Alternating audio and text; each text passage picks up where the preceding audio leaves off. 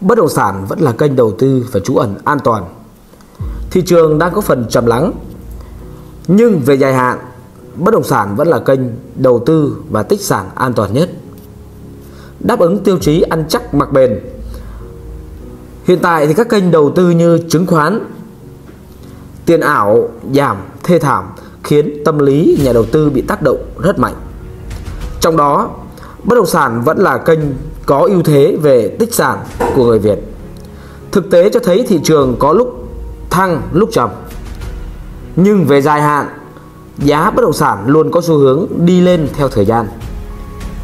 Những yếu tố chính hỗ trợ giá bất động sản là dân số luôn tăng, nhưng đất thì không không nở ra.